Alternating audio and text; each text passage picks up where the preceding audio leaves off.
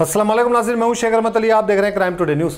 नाजरीन, जहाँ हमारे मुल्क में एक नफ़रत फैलाई जा रही है, हिंदू बना मुसलमान के बीच में जो दरार पैदा की जा रही है, ये चंद मुट्ठी पर सियासतदान है।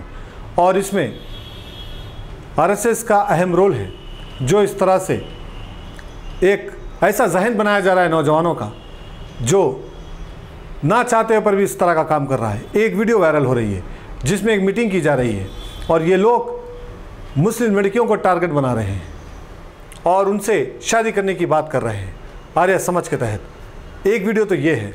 दूसरी वीडियो जहाँ पर मध्य प्रदेश में जस्ट, जस्टिस, जिसका नाम रोहित आर्या है, जिन्होंने फटकार लगाई है, जो इस तरह से आर्या समाज में शादी करके आते हैं तो इनको, इस मुस्लिम लड़की को हिंदू किसने बनाया, ये बहुत बड़ा सवाल उन्होंने किया।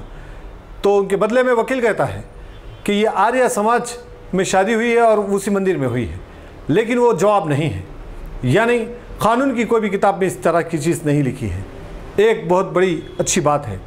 हाँ कोई अगर अपनी मर्ज़ी से कोई भी धर्म कबूल करता है तो वो उसके इख्तियार होते हैं। लेकिन इस तरह से टारगेट बनाकर एक साजिश के तहत काम करना, ये बड़ी अफसोस की बात है। और कहीं ना कहीं हमारे भी लोग इसमें ज़िम्मेदार हैं। जो दहेज इतना मांगते हैं कि लड़कियाँ शादी नहीं कर पाते। और दहेज की वजह से ही कई लड़कियाँ हैं जो इस तरह से कदम उठा रहे हैं। इसके कहीं ना कहीं हमारे वो ओलमाए दिन हमारे वो मुस्लिम कायद और हम खुद इसके ज़िम्मेदार हैं। और वो मस्जिद की कमेटियाँ जो लाखों रुपए कमा रहे हैं, लेकिन ऐसे बच्चियों की शादियों में वो सपोर्ट नहीं करते। अपनी ज़मीन अब मस्जिद जागीर समझकर लाखों रुपए कमा रहे हैं, पार्किंग को जगह दे रहे हैं।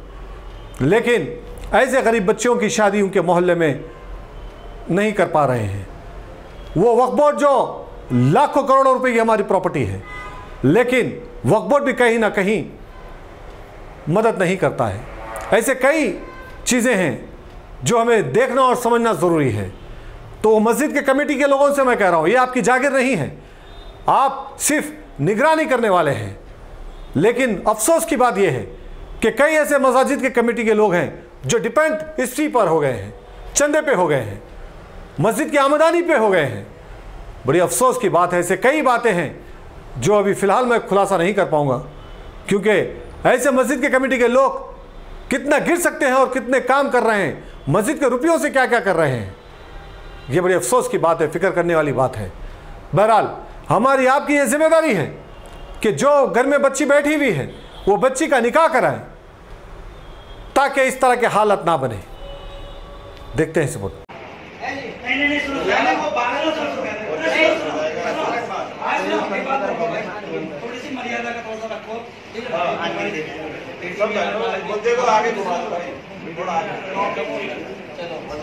तो मैं सभी भाइयों से बस ये कहता हूँ, अगर हमने किसी को सामने वाले को कमज़ोर करना है तो हमें उसके क्या पॉइंट पकड़ना चाहिए?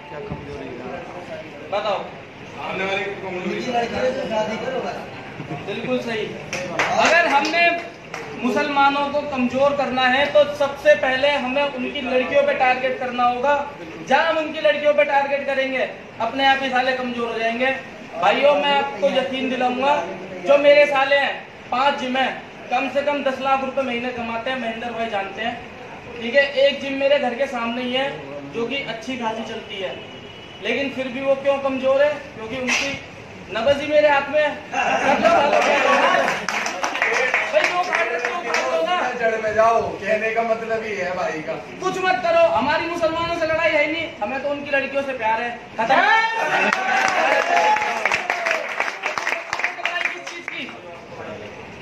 मैं तो हम तो उसकी लड़कियों से प्यार करेंगे ना। क्यों अपने आप ही अपने आप ही कमज़ोर होते चले जाएँगे। चलो भाइयों बस इतना ही कहना चाहूँगा। जय श्री राम।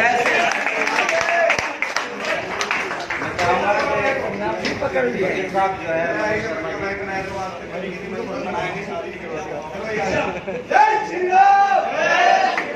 जय Shri Ram.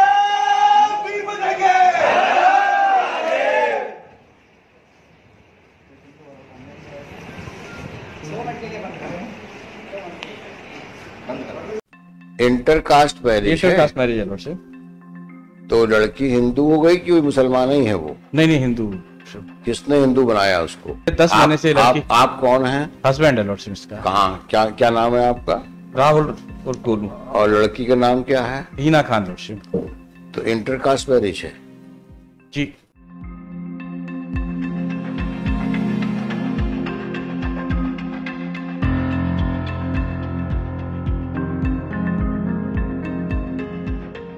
Intercaste marriage intercaste marriage है लॉर्डशिप तो लड़की हिंदू हो गई कि मुसलमान ही है वो? नहीं नहीं हिंदू। किसने हिंदू बनाया उसको? लॉर्डशिप अल्टीमेटली आर्य समाज मंदिर में शादी की थी उसको हिंदू किसने बनाया? आर्य समाज मंदिर में लॉर्डशिप अच्छा। Not ready with me, but uh, this is a, a general practice in Ghaziabad. देखो वकील साहब don't argue something which is in air you have to. देखो दिल्ली से आए हो तो बहस वो करो जो कानून में बात हो। यहाँ वहाँ लफाजी मत करो।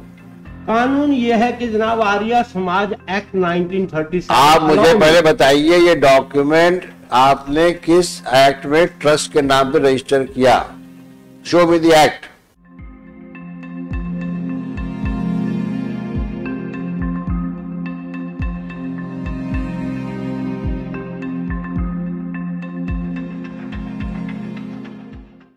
वो तो डायरी तो नहीं चलवा ही करोगे दिल्ली से आए हो।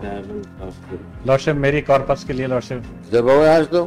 लॉर्डशिप एक साल से लॉर्डशिप बिना किसी कारण के मेला अंदर है लॉर्डशिप ये ये तो अभी जेल जाएगा। नहीं इनसी बातें कर रहा मेरी तो मेला पहले से अंदर है साहब दस हाँ, महीने वो भी वो तो जान दो निकेतन में उसको।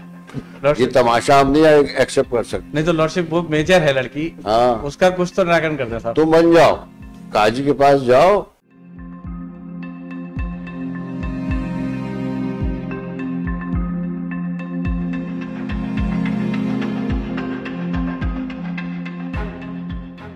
अब ये मुसलमान बन के लौट से असल में मुस्लिम से लड़की हिंदू बनने आई है लौट से ये दस महीने से कस्टडी में और मेजर है लॉर्डशिप तुम मुसलमान बन जाओ ज़्यादा अच्छा है।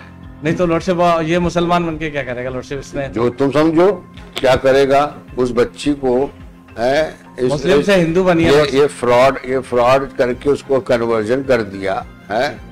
ये बताओ ये कोई तरीका है? ये ये ना ना कोई तुम्हारा स्टेटस स्टेटस है ना कुछ अभी तो इसमें काजी को ही बुलवाएँगे इसमें हम। आप तो और किसी हिंदू किसी मुसलमान को हिंदू बना रहे मज़ाक बात है?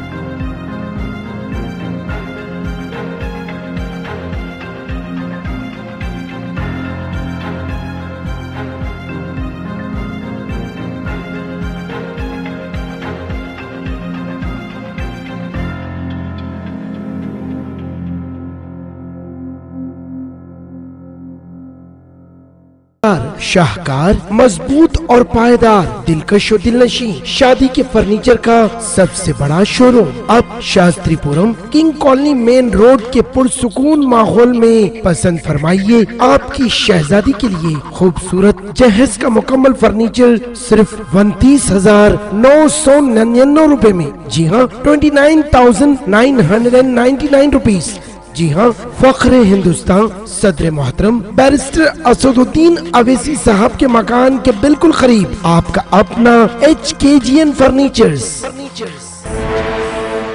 nine six one eight six five zero eight two seven.